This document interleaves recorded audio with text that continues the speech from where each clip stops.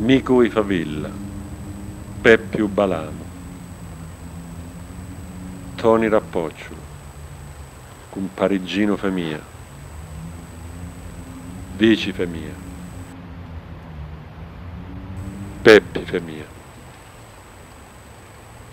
Ciccio Femia, Peppi San Pietro, Toni Logozzo, Mico Logozzo,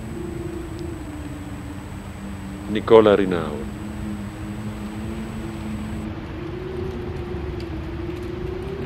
Compari Peppi da Scolara. Usallia. Compare Alfonsino. Mario Placani. Compari Petro.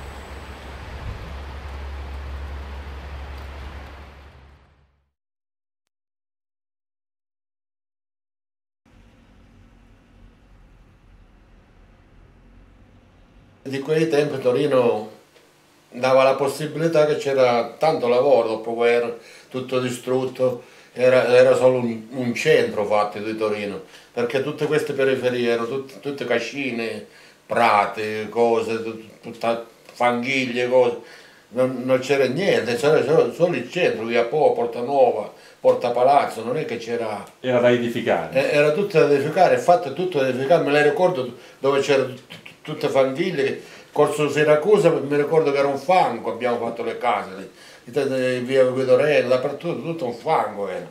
Praticamente abbiamo costruito e c'era lavoro perché si costruiva, c'era. Il lavoro erano Fiat e aziende collegate alla Fiat, l'altro era l'edilizia, perché lì hai il boom edilizio, tieni conto che nel 51 Torino aveva 600.000 abitanti, al censimento del 71 siamo, eh, oltre il milione, quando io sono diventato sindaco eravamo un milione e duecentomila, come se tu avessi preso una città di 600.000 abitanti, l'avessi calata su una città di 600.000 abitanti, pensa che disastro.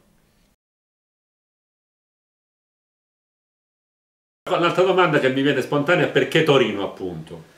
Ma perché, Torino c'eravamo tutta la locra era qua a Torino, non era a Milano. Era l'uno chiamava l'altro? E uno chiamava l'altro. Non c'entrava che c'erano le fabbriche? No, c'entrava proprio. Il fatto che c'era l'industria. Io dici da onde sì a Torino, venete a Torino, onde sì a Torino. Ah, era solo questa la cosa più importante. Questa è la il cosa. conoscente che ti tirava dentro. E si pensava, dici venete in Diarca. E il fatto dell'edilizia, perché molti di questa gente lavorava nell'edilizia e non nella, nella fabbrica, nella Fiat? Perché nella fabbrica appena arrivava doveva fare la la domanda, doveva fare le visite, le cose.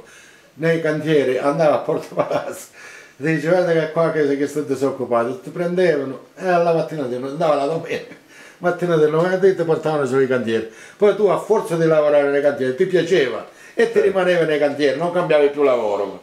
E tutto, non è una cosa proprio automatica che doveva stare sul cantiere, non poteva andare e uno partiva, poi, uno, uno poi, partiva, però non rimaneva qua a Torino però, poi se ne tornava giù.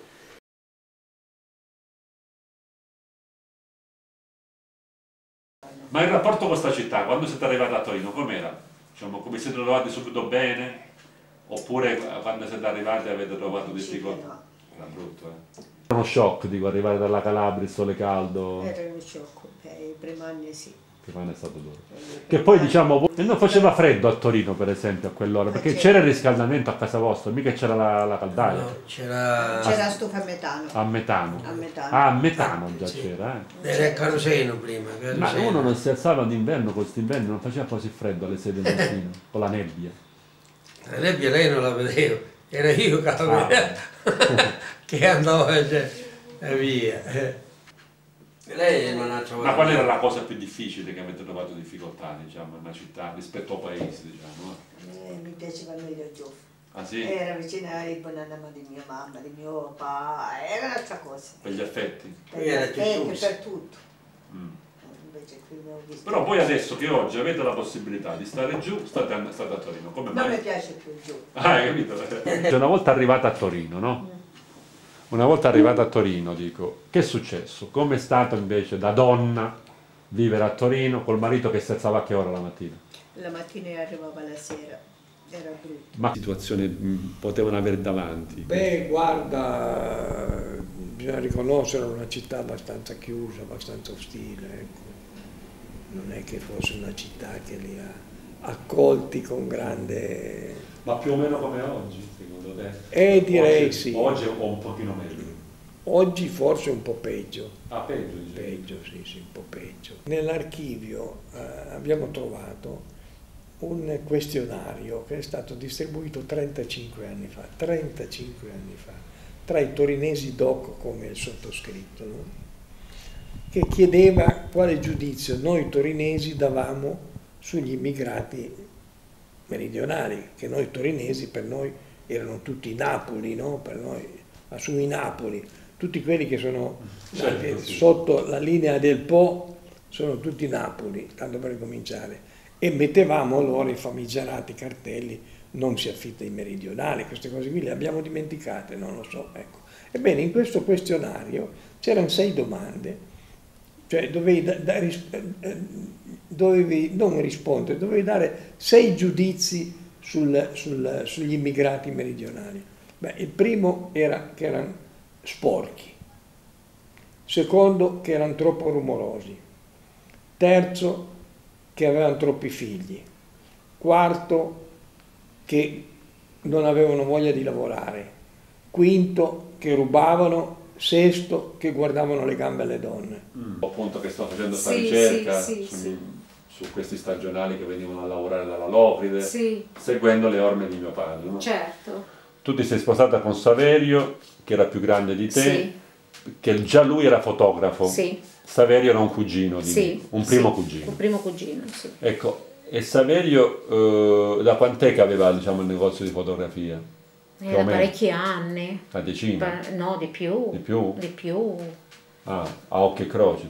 Che lui ti parlava invece del lavoro che faceva quando faceva le- le- la- il muratore, cioè il manovale. Sì, sì, sì, sì. E che ti diceva di quel lavoro? Eh, mi diceva che faceva il muratore, pesante, a volte faceva che guardava lì il cantiere, dormiva lì. Aveva un pessimo ricordo o un buon ricordo di quel lavoro lì?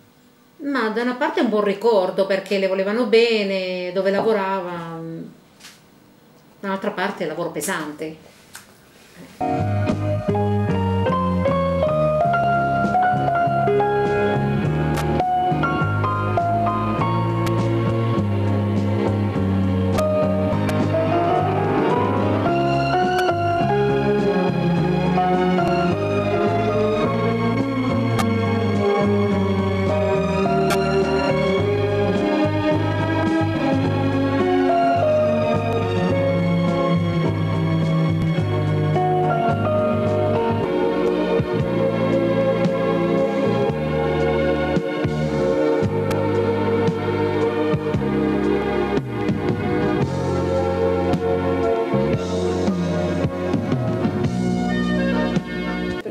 Era solo lui eh, che dormiva nella baracca, dormivano pure altri. Non è In proporzione quanto secondo te? Eh, Una buona porzione eh, 50%? in tutti i cantieri, Quanto? 50% no. penso di sì. 25%? Eh, no, 90%, 30%? 95%. Cioè, su- ma non tutti dormivano in tuo cantiere però. No, sì. Tutti dormivano nel cantiere. Quando eravamo a Mirafiore sì. Ah, interessante. Lì dormivano 7-8 assieme, io ero da solo.